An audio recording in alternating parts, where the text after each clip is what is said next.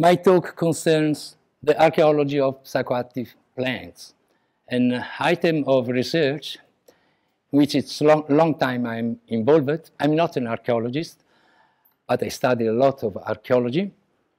And uh, mm, over the time, I understood that uh, mm, the task looking for psychoactive plants in archaeological context and elaborated it is not a task of archaeologists. It is a task of the specialist of psychoactive plants, the ethnobotanist specialized in intoxicant plants. This because many times archaeologists don't see psychoactive plants. They find it, but it is transparent for their knowledge. An example, in an, archaeologic, uh, in an archaeological pit, archaeologists find plant, plant remains. They studied it, they determine the botanical names, they publish the list, and they discuss some one of these, barley, wheat, pomegranate, even if they found one seed of pomegranate, they, they discuss this. But they don't see in their list 2,000 seeds of black bean, Hyoscyamus niger, which, which is an intoxicant plant.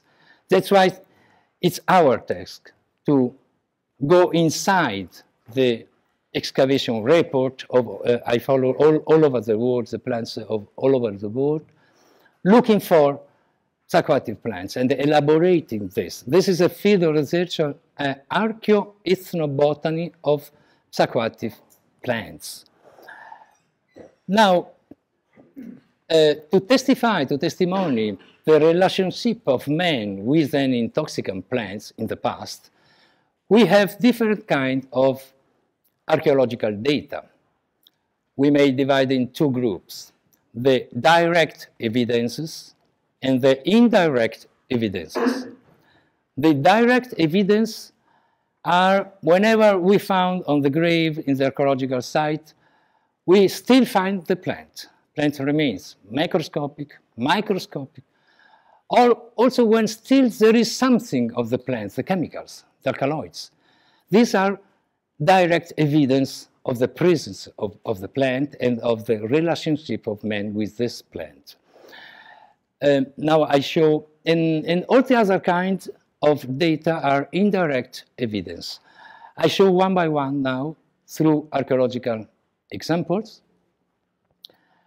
First of all, we have the material findings. When we found the piece of San Pedro near Lima uh, in a grave two years ago, or 12 plants of hemp on a China grave, or like this, this is a Tarim mummies complex.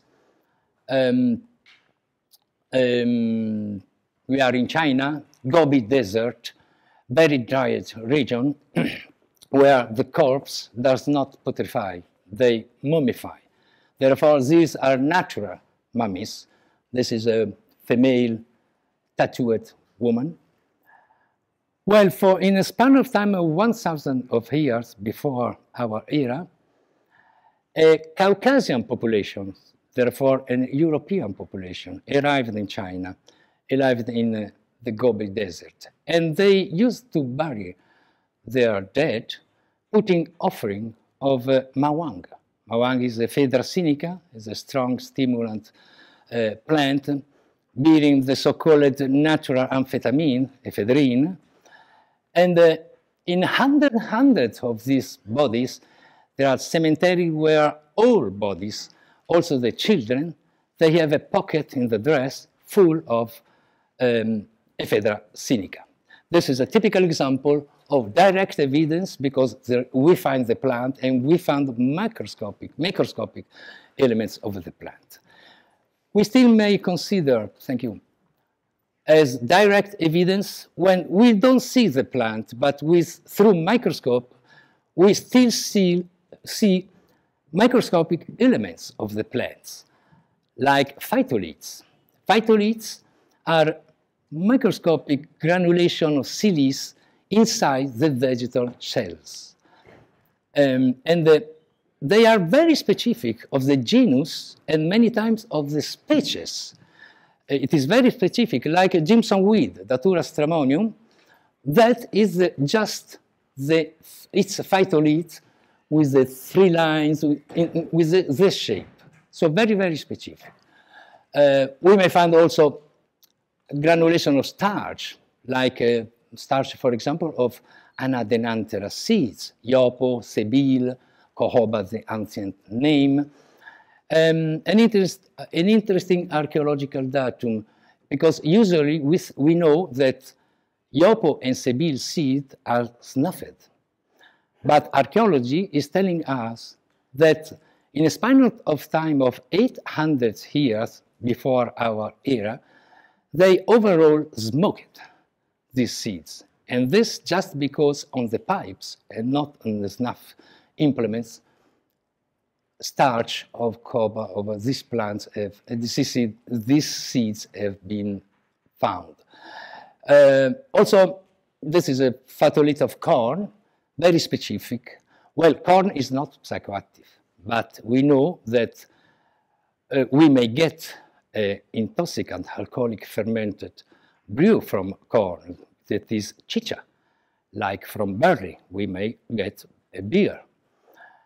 Therefore, when in a, in a grave we found, for example, on a plate, an offering plate, huge quantity of these corn phytoliths, this means that in the plate there were food as offering, corn food for offering. But if we found a huge quantity of phytolith corn in the, at the bottom of a bottle or other liquid container, this means that in that container, chicha, the intoxicant chicha, was present. We still may consider direct evidence when there are no more vegetal elements, but we still found the chemicals, the principles. We may do chemical analysis on artifacts. And here I choose as example, two example Maya, my examples. This is a very, very famous pot, wonderful, from uh, Rio Azul in Guatemala. Uh, the lid, to open the lid, have to be turned, turned it over. And this contained cacao seeds. There are no more cacao seeds, but the three chemicals, theobromine, theophylline, and caffeine, have been found which are just the three xanthine alkaloids of Theobroma cacao. And this, these are very little, so these tobacco pots, very little. We know that Maya princeps hung this here full of tobacco leaves, and in, effectively nicotine have been found inside. But here, I choose these examples because here we have not only the chemical evidence, we have also the literary evidence, because these glyphs are words. And now that finally it's possible to read the Maya language, we may read here kakava, which means cacao. And we may read ma'i, which is the Mayan word for tobacco. So here we have the chemical evidence that confirm the literary evidence and the literary evidence that confirm the chemical evidence. That is, we are quite sure that inside here there were cacao seeds and tobacco leaves. Sorry, one moment. And chemical analysis, we may do chemical analysis also on the body remains, the bones, the hair. This is a famous Chicha de Llullaillaco. Uh, she belonged to the so-called Incaic Capacocha sacrifice. Uh, the Inca people sacrifice young people overall girl. Uh, this poor girl, 14, 14, 15 years old, has been found together with two more little child at more than 7,000 meters high on the Andes. So totally frozen, very well preserved. And if you observe well, you may see the bulging cheek still here because inside there is a big coca leaf bolus. No? So the coca leaf bolus, this is a plant remains, direct evidence. But archaeologists here made something more. They analyzed for drugs the hair. This, this 30 centimeters more long hair. Now we know that human hair, women, men, on average, on average, they grow one centimeter by month. So they cut it, the hair, one, in one centimeter long pieces. And they analyze one by one the so-called fragmentary analysis of the hair. And in this manner, they got the history of the last 30 months of life of this poor girl. And they found in all the 30 months cocaine and some one of its metabolites. And interesting, starting from the six months before being sacrificed, also coca-ethylene has been found on the air. Coca-ethylene does not exist in nature. It is formed by human body whenever we took together cocaine and alcohol. So the body mixes these two molecules and produce this very intoxicating, more intoxicating than cocaine, coca-ethylene. And that's why, so we know that starting from the six months before being sacrificed, they took not only in uh, cocaine effect, but they took trunk this girl with chicha. Uh, yes, thank you. And now we, we, we, all these were direct evidence, now with the, still the presence of the plant. And here, now I present the indirect evidence.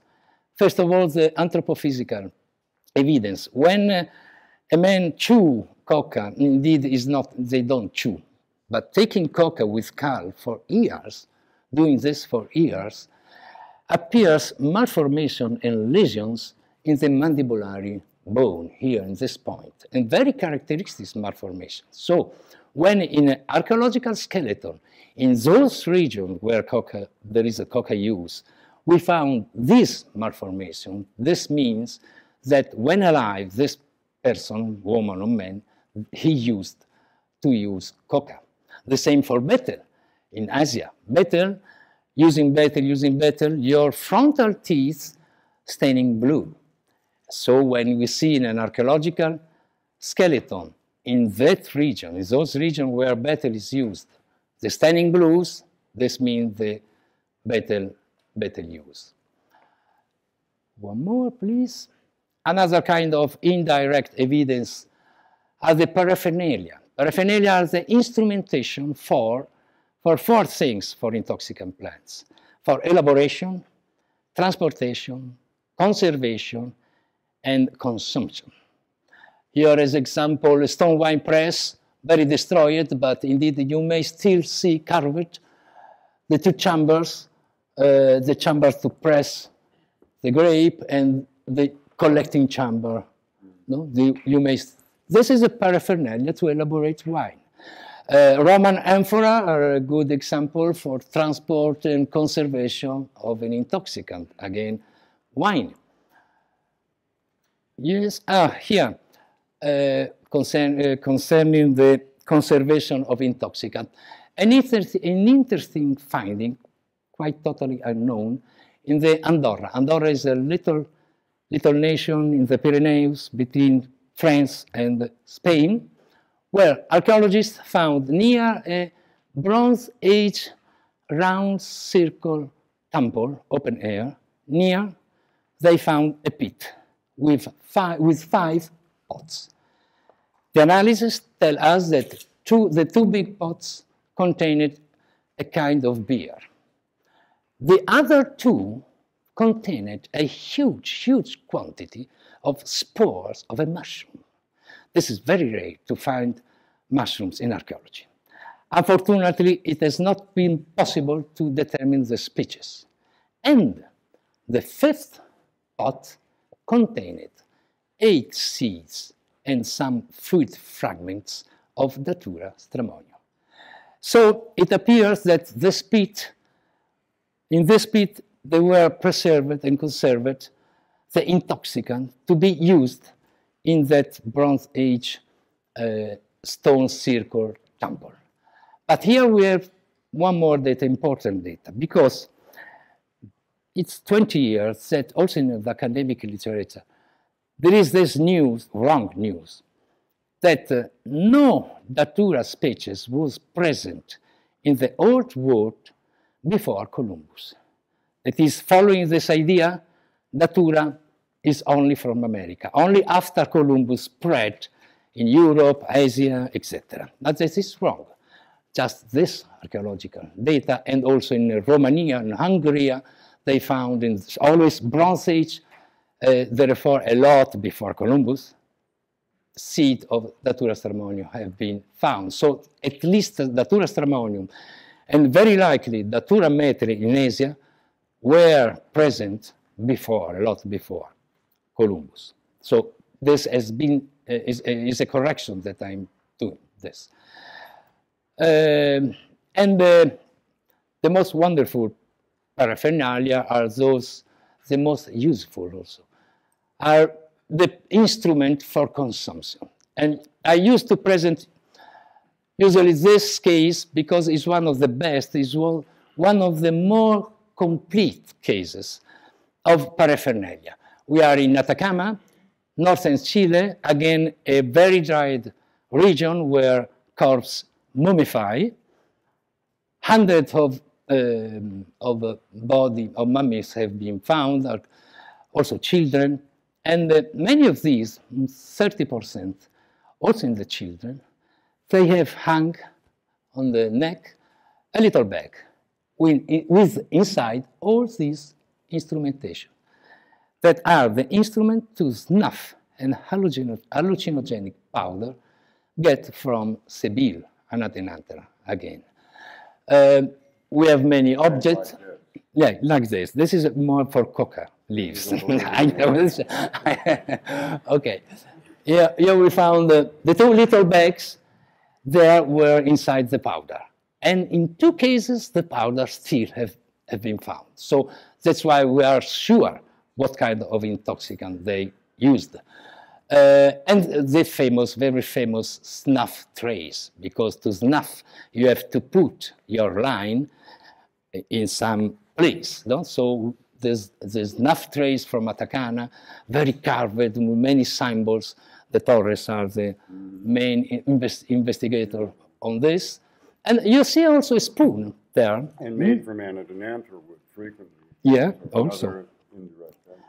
That spoon, the spoon is to take the, the powder and to put on, on the snuff tray. But making calculation, the quantity of powder that may stay on the spoon is just equivalent to an average doses. So that more than a spoon is a dosimeter. Hmm? We see. And the last kind of indirect evidence is the iconographic evidence. When in the two-dimension or plastic three-dimension artist art, we may find all the, the representation of the plant or representation of consumption of the drug or the context, the social context of consumption. This is a famous opium poppy goddess, Minoan, Minoica, uh, it is 80 centimeter high, so very, and uh, on the head she has three opium poppy capsule, which is possible to detach, to insert and to detach. And uh, very interesting the place, the origin place, because this is one of the rare, very rare case that it has been found in the original place, in a very little chapel, religious chapel, at Gazi. Gazi was one of the Minoan village. Within the house, a very little chapel, also low, um, with no door and no windows. To go inside with a chair, you had to enter through a hole.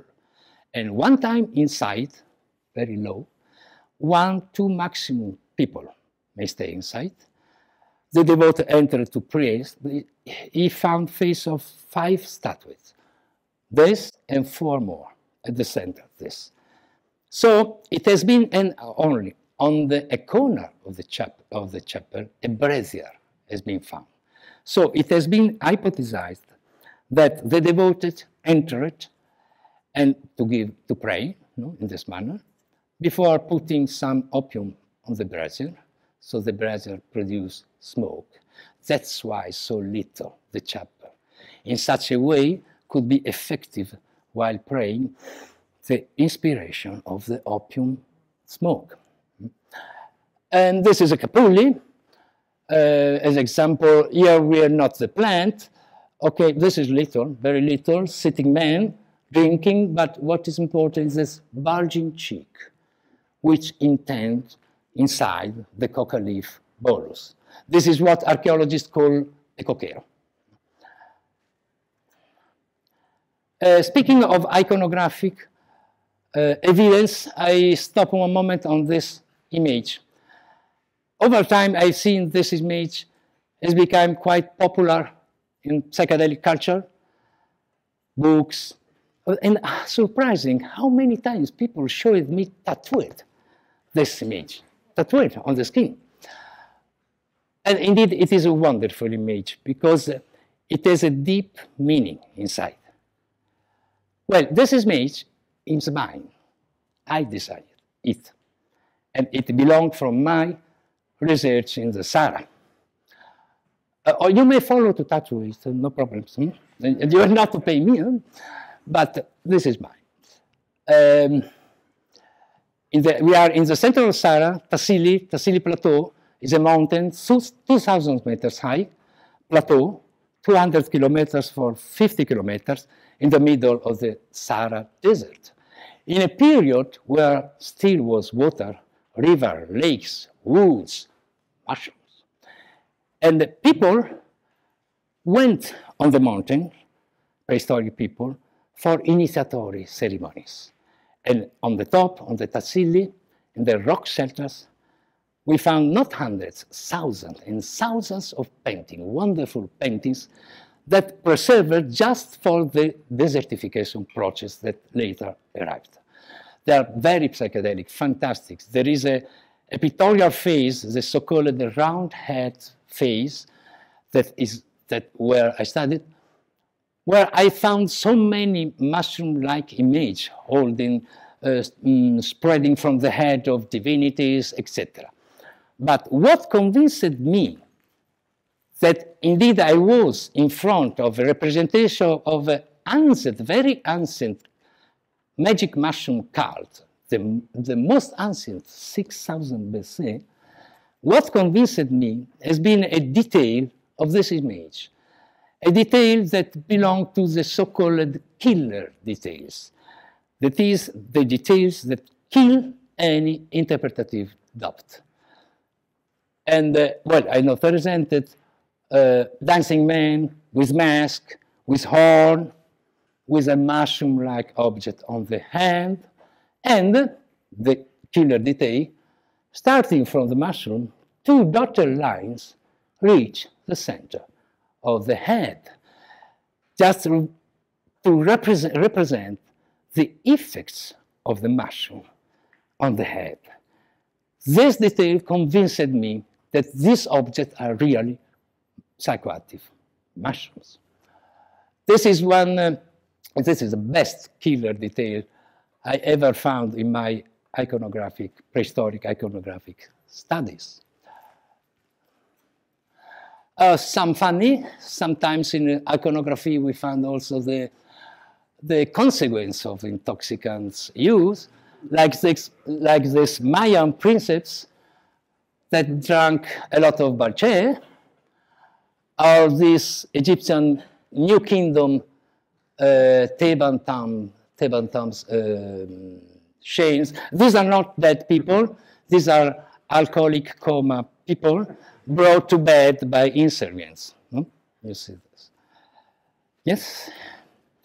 Well, now I, I, I, I talk to you about something else in the huge world of archaeology of, of uh, psychoactive plants. I choose to talk, well, uh, this thing. This is an interesting new data um, concerning alcohol, concerning beers, beers from gramineous plants, from cereals, no? barley in the old world, and corn in America. Now, it has been always a common idea inside and outside archaeology that firstly, man discovered how to get food from gramineous plants, so cultivating it, transforming it in cereals as food, and only later, growing, cultivating, cultivating cereals, only later man discovered the technique of production of beers. In the last 15 years, archaeologists understood happened totally the opposite. At least in three of the origin centers of production of beer, two of these are the most important, in the Near East and with barley, and in Mexico with uh, corn, I'm speaking of prehistoric beers, they demonstrated it happened totally the opposite. That is, originally, man discovered how to get an intoxicant from gramineous plant. And only later, 3,000 years later in China, 4,000 years later in Near East, in Mexico still is discussed how much later, only later, cultivating, cultivating for intoxicant use, they discovered that they, they could use cereals for food. And this brings us to an important consideration. That is the use of intoxicant inducing an important cultural acquisition. In this case, important alimentary acquisition through intoxicants. This is a very interesting uh, consideration, I think. Um, one more correction, because many corrections have to be made concerning here the distillation practice. Uh, distillation practice to get stronger alcoholic brew. No? Um, because if you read quite all the books on history of distillation, all say that prehistoric man was not able, did not have the technology to produce, for, to still to the, produce distillation, and distillation started in Alexandria of Egypt, first century of our era, uh, by, by, by, Greeks. This is not true. Archaeology know very well. It's the uh, archaeological still prehistoric are quite widespread. The most ancient are of the fourth millennium BC from uh, Iraq and from Czech Republic. In the Bronze Age, we have more. We have steel, prehistoric steel, also in Mexico, Colima culture. So pre-Columbian, because usually distillation in America arrived with Columbus. No, Colima, Colima culture produces steels, and uh, experimental archaeology, which means to construct the identical and to, to work for, with it, been able to demonstrate it was possible to get a 44 alcohol concentration brew, very clean, very clean from methanol, because this usually is a problem for with distillation. So prehistoric man, yes, was able, had the, te the technology to produce stronger alcoholic brew. Uh, this is an interesting new concerning Eleusinian mysteries. I hope you know the ergot hypothesis by Wasson, Ruck, Hofmann. You also? You also, Hofmann, the ergot hypothesis. Mm. Hofmann, Ruck, well, Wasson, Ruck, Pender. Uh, but you also? No. no ah, okay. Well, the, the ergot hypothesis of Eleusinian mysteries, that is that in the visionary Kykeon, this brew, ergot was inside. And we find we have now the first confirmation. It is in a late date, 40th century BC. Eleusinian mysteries lasted for 2,000 of years. But, and we are not in Eleusis, but we are in a Demetriac temple, the, uh, the goddess, Eleusinian goddess Demeter and Persephone. near Girona in Spain. Now here in a cup, very likely one of the cup used to drink kykeon, little pieces of ergot have been found. And overall, little pieces of ergot have been found in a dental calculus of a skeleton, very likely he was a hierophant, that is a priest, is an Eleusinian priest. So this is the first time we found the confirmation of the Wasson and Ruck staples, etc. Hofmann, Wasson, Ruck, and staples hypothesis. Uh, I passed through Syrian rue. Syrian rue because this plant so so important in these last uh, years. Uh, Syrian rue is uh, is following ayahuasca in the globalization. There is a globalization of ayahuasca, and back there is the globalization of Syrian rue. Why this? Because Syrian rue seeds contain harmine and harmaline, the same alkaloids of ayahuasca vine, and they contain 10 times, sometimes 20 times more than uh, ayahuasca vine. That's why it's spreading in, uh, in the uh, ayahuasca and anahuasca ceremonies, etc. Well, this is a very important plant. Surely, Peganum harmala has a big, big old world history. Unfortunately, we know only now only little pieces of this Eurasian plant. But sure, it has a very important relationship with uh, old, old world men. Archaeologists speak of speak as of seven thousands of relationship, at least, of men with Syrian rue. Here I put the most ancient findings. And we have also an interesting iconographic representation of Peganum harmala in the Jiroft chlorite cup, wonderful cup from Mesopotamia, third millennium uh, BC. Uh, it is, there is represented the classic Mesopotamian scheme of two animals with a tree of life in the middle. Uh, indeed, originally is the two animals eating the tree of life in the middle. And in this case, the tree of life has been determined by archaeologists as Peganum harmala. And me too, I agree with the five petals. This could be effectively Peganum harmala. Now, I present a list.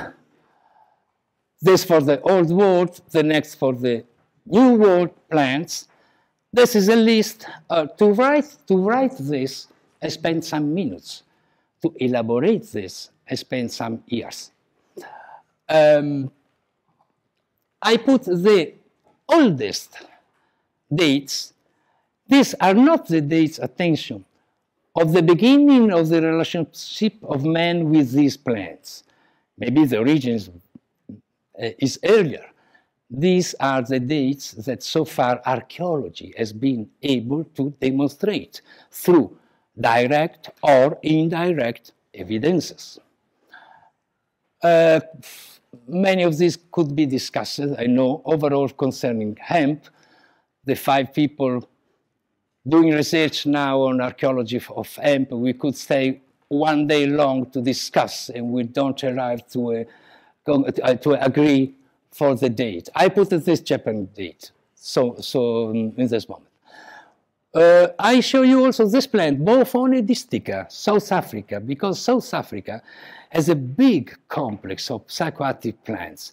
More than 120 psychoactive plants are still used by South African tribes, ethnies. But we know very, um, it, it, it is a complex still not studied. One of the most important hallucinogenic, very visionary plant is Boophone disticha. And uh, it is demonstrated its importance by archaeology. 4,000 years of South African people using, using Boophone disticha. I think this plant will, uh, will reach in the future a globalization or will reach the psychedelic culture, also this South African plant. Uh, the next concerns the New World plants. San Pedro is the first, more than 10,000 of relationship of men with, with San Pedro, uh, you see, Datura Stramonio, only 300 of our era. That is, so far, the most ancient archaeological data concerning Datura belong to Europe, not to the Americas. But I, conclude, I want to conclude with another list, the list of the plants that are not present here. We have no archaeological data so far for these plants. We have no credible archaeological data because my work is not only to take archaeological data, uh, to filter because fakes are everywhere, also in archaeology. We have very famous archaeological fakes just concerning uh, intoxicant plants. For example, the cocaine, hemp, uh, Egyptian mummies, totally fake. This. Well, uh, a word for ayahuasca. Ayahuasca brew, brew, but also Banisteriopsis. Because sometimes the media spread, like two months ago, I think, no? this pocket found in Bolivia with many drugs inside, and supposedly also ayahuasca. But these are not credible uh, data. Also, the presence of Armin, Armine in two, in two Chilean mummies uh, and uh, the archaeology ayahuasca. No, this is uh, totally fakes, fakes based on, on wrong conclusion. I have no time to explain why, but the fact is also for ayahuasca, so far we have no credible archaeological data. And I belong to the little group of researchers that in these last years is starting to suspect a recent discovery of ayahuasca. Three, four hundred of years, no more. Usually you see, you see 5,000 years uh, old ayahuasca. No, no. Uh, it is a suspect. We still are not sure. We are waiting for more archaeological data, but not for the lack of, not only for the lack of archaeological data, also through ethnomusicological, uh, ethnohistorical data are bringing us to understand. So we, we, we suspect the ayahuasca, but this is normal. That is, uh, why the lack of this uh, for this plant? Uh, one explanation could be, well, archaeologists so far have not found it, but maybe one day we'll find something. But another explanation, at least for some one of these plants, could be that simply they have been discovered recently. Because men follow to discover psychoactive plants and souls. Um, baby Hawaiian wood rose, no? baby Hawaiian wood rose seeds, they are hallucinogenic. We discovered this not through ethnography. We discovered in the laboratories. So we still follow to discover hallucinogenic plants, psychoactive plants. It is not the case that in a very, very ancient time we discovered psychoactive plants and after we used. No psychoactive plants have been discovered, have been forgotten sometimes, have been rediscovered as we Western, uh, we are rediscovering many of these plants, and sometimes happens that men still discover new intoxicant plants or brew like, likely, ayahuasca. Uh, well, I, I stop here. Uh, have you some question? not complicated too much.